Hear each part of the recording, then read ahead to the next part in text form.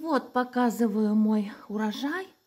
Я уже закатала вот эти четыре банки. Это маринованные опятки. Вот эта вот баночка, это сделала икру грибную. Вот эти вот две, вот в таких контейнерах, это просто отварила солью, поставлю в морозилку. Ну вот еще и яблоки, это тоже урожай собранный. Англичане же ничего этого не собирают. Но и это еще не все, потому что вот, я еще последнее довариваю, вот. Вот так это все происходит. Вот такие вот у меня удобные кастрюльки. Все вмещается одно в другое, вот. Друшлаг в кастрюльку. Вот так. И вот. снова всем привет, друзья. Что-то я зачистила с видео, да? Только вчера выпустила вам одно про медицину, и вот сегодня опять одно.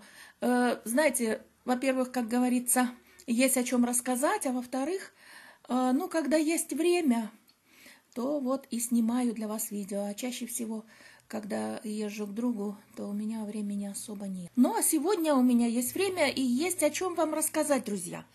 В общем, знаете, давно уже я Я не рассказывала вам о проблемах, да? Вот об английских проблемах. Я вам рассказала первую часть о проблемах английской медицины. Вот. А сегодня опять, понимаете, получается о наболевшем, потому что помните мои видео, что у меня было там жуть какая, с плесенью в углу, там, и, и с протечкой крыши, и вроде ремонтировали, ремонтировали наш этот дом несчастный. Вот. И платим мы огромные деньги за содержание этого дома. 250 фунтов в месяц – это немыслимые деньги. Кто живет в Англии, поймет меня. И вот сегодня я снова хочу показать и рассказать вам, что происходит и с моей кухней, и с моей квартирой, и с нашей крышей. Ну вот и еще показываю вам вот эту проблему, которая у меня была здесь. Помните, да, в большой комнате? Вот она. Я здесь закрашивала все, убрала отсюда шкаф, потому что здесь все черной плесенью заросло из-за влажности. Вот, освободила угол, долго высушивала, долго закрашивала. И в конце концов, вот сейчас дожди у нас пошли опять каждый день, каждую ночь. И видите, все опять влажное, все опять сырое. О, боже мой, я поверить не могу. Он, видите, все отслонилось здесь. А еще самое интересное то, что мы заплатили 6 тысяч фунтов за то, что нам отремонтировали буквально неделю назад крышу. Тоже прекрасно помните, я показывала вам вот эти вот леса здесь. Они у нас стояли все лето. Долго не приступали к работе. Потом, в конце концов, вот сейчас, три недели назад, я как раз была на отдыхе. Вот они говорят, ремонтировали тут во всю крышу две недели подряд. Вот, все вроде закончили, сказали, что будем снимать вот эти вот леса. Я уже обрадовалась, слава богу. И вдруг вот такая вот у нас проблема опять. То есть начались дожди, и все появилось вновь. Вот видите, и угол у меня в коридоре. Вот он здесь был все время сырой, летом подсыхает, а осенью опять протечка. И снова та же самая история. Так вот, хочу пояснить немножко вам поподробнее, тех, кто не в курсе. Во-первых, друзья, здесь проблема с плесенью практически у всех. Вот поверьте мне, во всех домах викторианского типа, во всех старых жилых постройках в Англии, во всех есть плесень. Так же точно, как она была и в бангало моего мужа – когда я приехала сюда только впервые, я поражалась, удивлялась, почему кругом все заплесневелые углы. А здесь это оказывается такой бич, что англичане просто уже не обращают на это внимания. Мне тут тоже многие мои э, русскоговорящие, те, кто живут в других странах, там в СНГ, они мне говорят, что это вредно для здоровья, что как это можно вообще этой плесенью дышать, да бегите вы оттуда. Ну, то есть, если вы поселились в туманной Англии, влажный климат, проблемы с отоплением почти тоже у 40% населения, Холодно так, что вам не передать, понимаете? Как тут тоже девушка одна блогер э, в Англии живет, и она рассказывает, что она первый год, как только приехала в Англию, она просто мерзла, невозможно целый год. Она не могла понять, что происходит. Она говорит, я даже так в крещенские морозы дома в России не мерзла, как здесь. Ну, то есть я говорю о холоде в квартирах потому что все англичане экономят на отоплении, и даже те, у кого есть деньги, все равно экономят, потому что жизнь очень дорогая.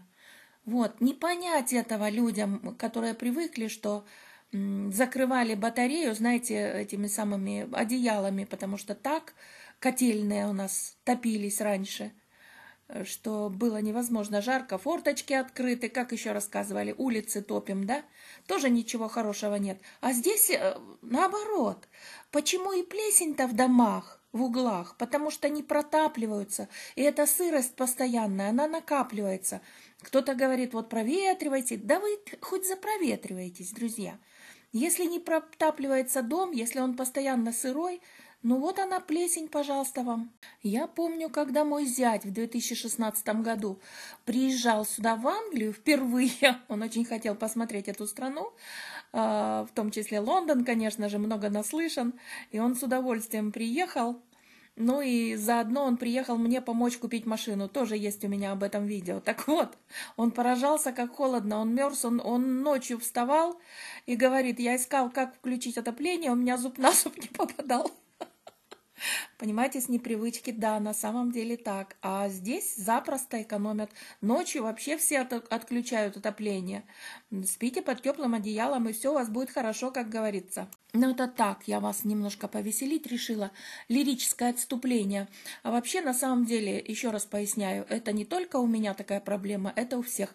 И самое это еще интересное, что пришла ко мне моя соседка снизу, Вив, которая Помните, я вам показывала ее садик, она там сама себе делала в саду э, всякие усовершенствования. Так вот, она работает главным бухгалтером в Лондоне, и она получает очень хорошие деньги.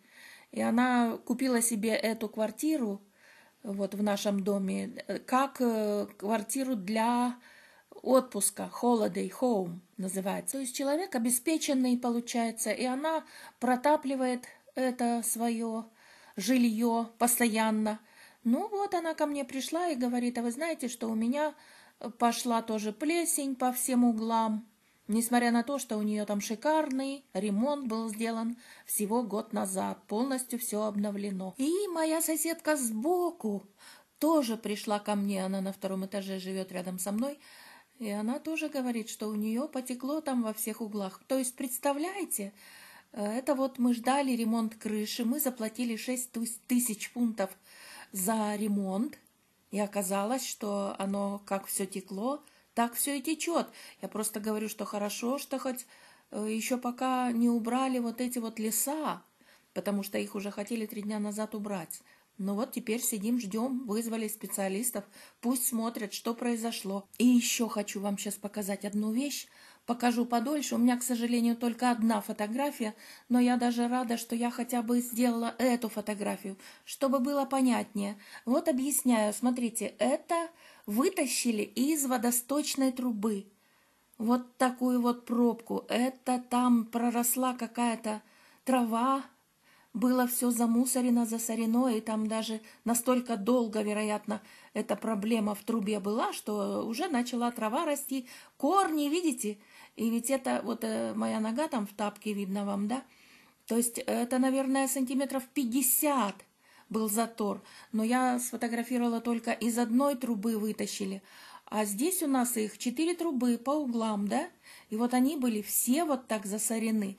То есть можете себе представить, что, может быть, там проблема даже была и не в крыше вовсе даже, а в этих вот сточных трубах и в желобах, как оказалось, ну, желоба, да, сточные э, по краю крыши проходят. То есть, представляете, история, да? У нас проблема в течение нескольких лет уже, ну, вот сколько я живу, столько проблема с этой... Все говорили, что это крыша, и почему у нас все углы сырые и все течет, потому что это что-то с крышей не то. И в конце концов собрали мы деньги, 6 тысяч фунтов, огромные деньги, чтобы нам крышу эту отремонтировать. А оказалась проблема в том, что забиты желоба и забиты сточные трубы водосточные. И как же это так могло случиться, что за столько лет мы оплачиваем, чтобы нам все эти работы проводились вовремя, а оказывается, никто не следил, и вот такие вот заторы в трубах водосточных – это кошмар. Ну, то есть я не знаю, что здесь сказать, как здесь это резюмировать, то ли это такой непрофессионализм опять, у людей, которые крышу ремонтировали, которые все это смотрели, проверяли. Или это все такое, знаешь, те, знаете, отношение наплевательское. Деньги получил, и все, и трава не расти. Ну вот для меня, честно вам скажу, просто неожиданно. Ну вот, пожалуйста, вам опять проблемы. И ведь опять нам их решать. Мы ведь здесь живем. И мы мучаемся, жильцы. Рисуется, что с моей кухней, чего я решила, как у меня договоренность. Помните, да, поменять кухню. Так вот, друзья, ничего пока не решено. Кухня моя как была, так и есть. Единственное, что я уже показывала вам, но вот еще раз покажу, может, кто не видел. Я вот здесь вот поставила такую вот маленькую тумбочку. И теперь все вот эти вилки-ложки, которые здесь стояли у меня на видном месте, я их туда спрятала. Ну и, конечно же, я очень довольна вот этой стенкой, вот, которую вам еще раз показываю. Все я сделала сама, зашила бойлер и вот это вот здесь поставила такую красивую, как называется, тумба, да? Тумба-шкаф с множеством ящиков. И поэтому приш... Э, смогла спрятать все, что здесь у меня мешало. Хотя и получается, что Настолько неудачная эта кухня в смысле расположения. Бывшая комната, да, видите, огромные окна кругом, и они низко расположены, не дает возможности нормально здесь организовать вот эту вот поверхность рабочую. В общем, проблемы, да? Вот, ну и э, вы знаете, с меня запросили просто, чтобы заменить столешницы вот эти. И здесь тоже столешницы. Я хотела вместо этой плиты газовой, хотя она у меня всего два года, но я хотела поставить варочную поверхность, помните все это, да? Поэтому мне друг и купил, и привез. Ну вот, показываю вам. Привез мой друг мне вот эту вот варочную поверхность. Вот она, электрическая варочная поверхность. Так, сейчас, где тут картинка? А, нет, картинки нет. Ну и вот, и я ее вот сюда вот себе в кладовочку поставила благополучно. А теперь не знаю, что делать. Потому что с меня запросили только за работу вот дверцы заменить и верх, да? Две с половиной тысячи фунтов. Это получается два нуля прибавляйте. Сколько? 250 тысяч рублей, да? Вот, поэтому пока сижу, пока думаю. А потом э, еще что я для себя решила. Знаете, что кто-то мне говорит, что «Ой, что у вас тут кухня захламлена». Да все, что нужно, у меня под рукой. И я очень довольна всем этим расположением. Единственное, конечно, я бы поменяла вот эти старые дверцы. Ну и еще, что касается вот этого вот камина – пресловутого постоянно мне говорят, что вы его закрыли, почему закрыли, надо было открыть, надо было почистить и пользовать. Так, показываю. Показываю, как выглядит камин. Смотрите. Он уже до меня был нерабочий. Уже, когда я въехала 6 лет назад, он был вот так. Вот эта вот коробка странная. Она наполовину, этот камин, закрывает. Когда я хотела ее разрушить, ко мне пришли специалисты, они посмотрели и сказали, ничего не выйдет, потому что это не просто так сделано, а потому что там трубы. Уж что за трубы, я не знаю, канализационные или какие, но они вот здесь вот зашиты, эти трубы, и никак не получается все это убрать. Вот поэтому я его так и использую в качестве кладовки. Единственное, что я могу сделать, это закрыть покрасивее. Не шторку повесить, а вот такие вот двери. И я практически очень рада, что я смогла тоже сделать это сама. Так, ну а это, если кто заметил, это я тут пыталась изобразить Хэллоуин такую морду из этой самой, из тыквы. Потому что тыква несъедобная. Есть ее нельзя, она просто декоративная. Ну, вечером, когда здесь я включу свечку, поставлю внутрь, она будет интереснее. Но пока еще рано. 30 у нас Хэллоуин. И опять у меня под окнами ремонтируют дорогу. Посмотрите, друзья. Представляете, вот те, кто давно смотрит мои видео, наверное, помнят.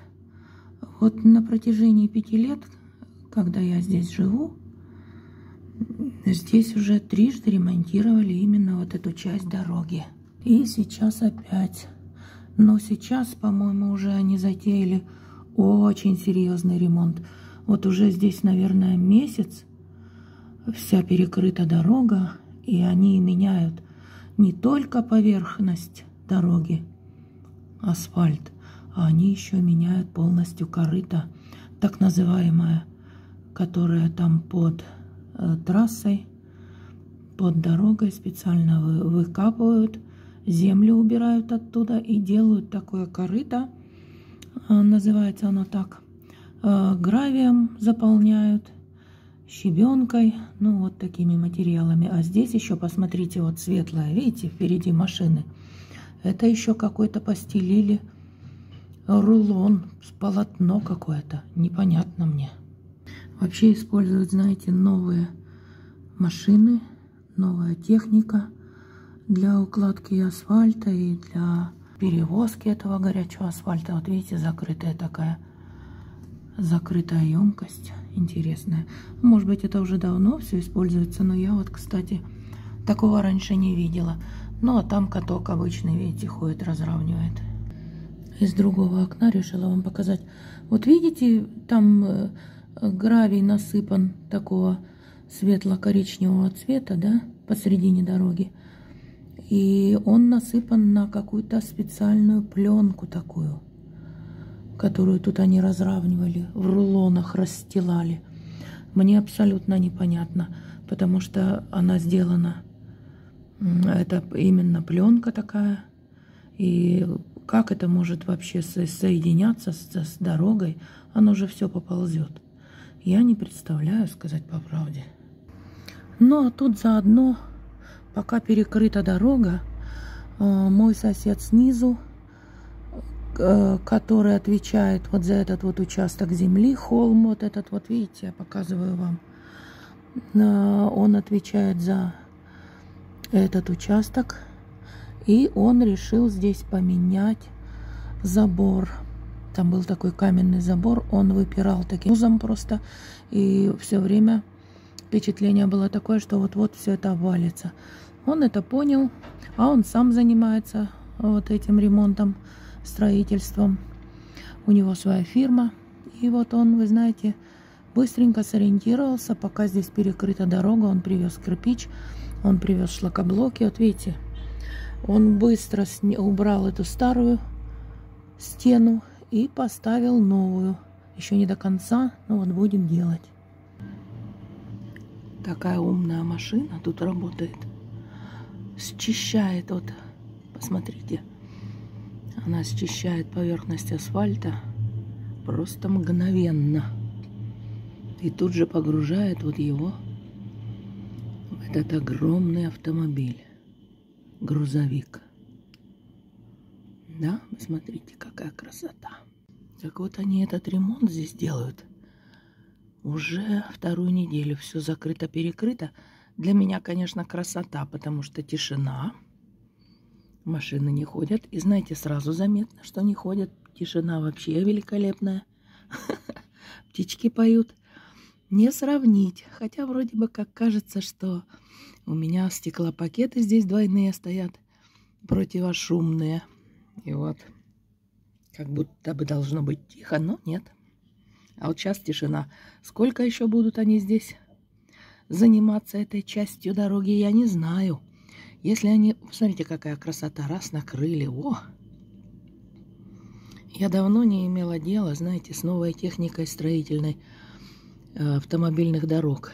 И я очень как-то, знаете, поражена какие уже теперь классные новые здесь новое оборудование применяется. Вот еще одна новая машина, другая, я имею в виду, подъехала. И ее почти уже загрузили. Как классно и быстро. А вы помните, как это было а, раньше? Это делали таким долбящим инструментом, забыла, как он называется, который тарахтел по страшной силе. И вот э, раз, раздалбливали верхний слой асфальта, а потом это все лопатами собирали, погружали. А теперь смотрите-ка, что какая производительность у этой машины, которая счищает асфальт просто как кожу ножиком. Ну так. Но если у них есть еще другие похожие, э, другая техника, которая сейчас применяется при укладке асфальта в автомобильном производстве, я имею в виду в производстве автомобильных дорог, то они мне здесь быстро все. Показала вам напоследок, друзья, повеселила вас, наверное, тоже. Сама смотрела, когда болела. Это была еще у меня съемка по-моему, три недели назад вот по показывала я вам, как у нас делали дорогу под моими окнами. Супер! Ну, может быть, и вам понравилось, а мне было нечего делать. Я с температурой дома сидела у окна и вот наблюдала. Ну, сегодня, друзья, надеюсь, я показала вам много чего. Поэтому на сегодня у меня для вас все. Надеюсь, что мы с вами снова увидимся вскоре. А пока берегите себя, друзья, в это трудное время. Всем удачи, всем терпения, всем всего самого наилучшего. Пока-пока.